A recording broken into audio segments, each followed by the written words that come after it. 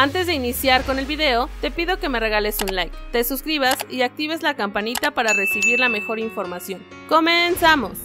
Chivas pone a Mayorga, Olivas y varios millones por el fichaje de Carlos Acevedo. Tal y como lo había adelantado el periodista Jesús Hernández de W Deportes, las Chivas Rayadas del Guadalajara estarán proponiendo un trueque con Grupo Orleji para lograr obtener el fichaje del guardameta del Santos Laguna, Carlos Acevedo, jugador que desde hace varios mercados ha sido el objeto de deseo de la directiva tapatía. La portería parece ser el gran pendiente de Paunovic para reforzar en el verano, por lo que en el Chiverío quieren aprovechar el interés que ha mostrado Grupo Orleji por uno de sus jugadores, el lateral izquierdo, Alejandro Mayorga, quien no tiene cabida en el equipo rojiblanco. Ante esta situación, Chivas no solo colocaría a Mayorga, sino que también enviaría en paquete al defensor Luis Olivas, actualmente fuera de planes de Paunovic en el rebaño, por si fuera poco, la directiva está dispuesta a abrir cartera para completar su oferta. De acuerdo a la información revelada por el diario Universal, además del paquete de jugadores, Chivas ofrecería 3 millones de dólares para completar los 9 que Santos Laguna quiere por la ficha del guardián Acevedo. En el portal Transfermarkt,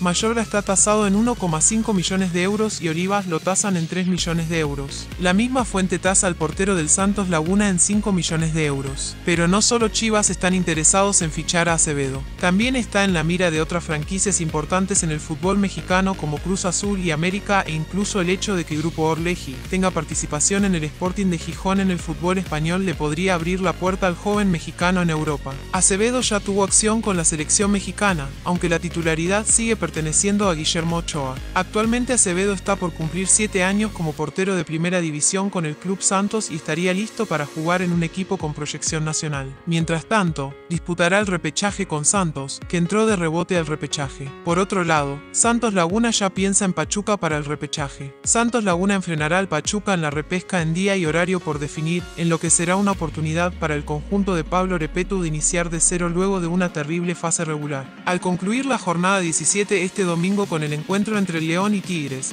quedaron definidos los partidos que estaban pendientes por concretarse para la fase de reclasificación. Con la derrota del conjunto de la UANL, no hubo movimientos en la parte central de la tabla, así que se mantuvo el duelo entre Tuzos y Santos, duelo que se disputará en el Estadio Miguel Hidalgo de la Bella Airosa. El cuadro lagunero no debió calificar, ya que ocupó el lugar 13, pero debido a que el Querétaro quedó imposibilitado por el reglamento a jugar esta instancia, dejó su lugar y así pudo acceder el equipo albiverde. Santos no pudo hacer su parte y cayó 3 a 2 en su último encuentro, que disputó en casa del Cruz Azul. Si bien es cierto que estuvo cerca de la remontada, al lograr dos goles en los últimos minutos, debe mejorar mucho su funcionamiento. Tras el partido ante la máquina, el técnico sudamericano señaló el enfoque del equipo en esta semana de preparación. Vimos cosas buenas en el rendimiento individual de algunos jugadores, vimos mejoras, hay que seguir mejorando otros, el equipo tiene que defender mejor. Intentaremos, en los pocos días que tenemos, hacer mucho hincapié en eso para poder ser más sólidos y competir en el próximo partido, para poder lograr lo que queremos que es pasar.